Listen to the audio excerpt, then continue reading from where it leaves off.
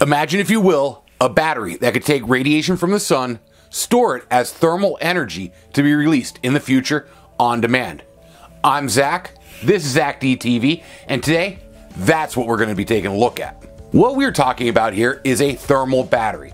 Now, this isn't anything new. If you think of a brick wall that collects the heat of the sun during the day and then stays warm overnight, that's an example of a very primitive solar battery.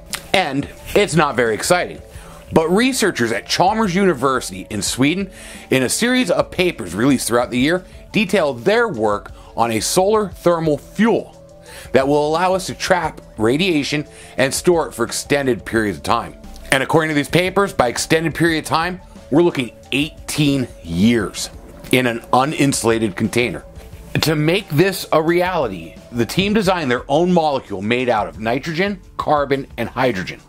This molecule is known as norbornadiene, and this molecule has a pretty unique property. When hit with solar radiation, it changes into an energy rich isomer.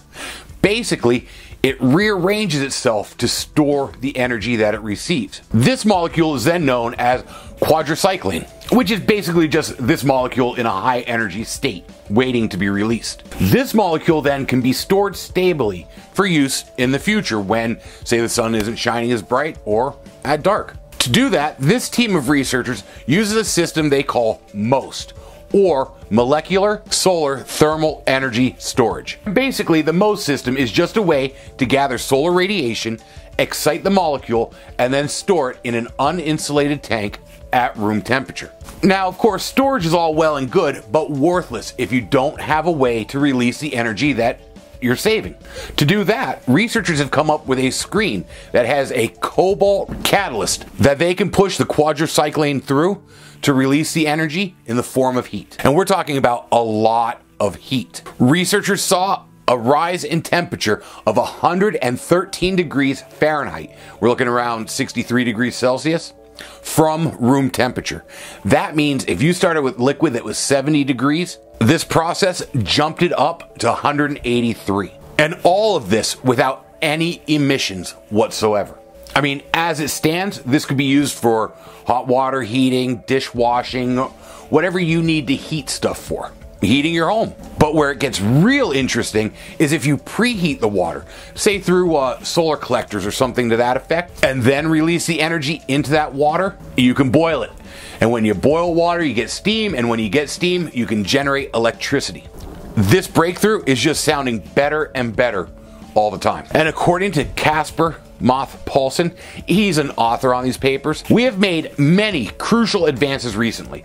And today, we have an emissions free energy system which works all year round. But he also states that there is a lot left to do. We have just got the system to work. Now we need to ensure everything is optimally designed and optimize they will. Moth-Poulsen has stated that he thinks he can optimize this fuel to see up to a 230 degree release in heat energy. That's 110 degrees Celsius. That means you would be able to take room temperature water and jump it to 300 degrees nearly immediately. That produces a lot more steam, which produces a lot more electricity. Win, win, win all around. Now, with all that being said, we do have to look at the reality of the situation. The team believes they're looking about 10 years before we see commercialization of this process. But when we do, I think it's going to be a game changer. But that's what I think. I want to know what you think. What can you see a system like this being used for? How can we go forward and implement this into our society? Let me know what you think in the comments down below. If you enjoyed this episode, make sure to click that like button. And if you're new here, subscribe. If you ring that bell icon, it'll notify you when I upload something new. New videos will be out Monday, Wednesday, and Friday. From here on out, I quit my jobs and I'm back to YouTube full time. So I will see you here again. And until next time, just have fun and be safe.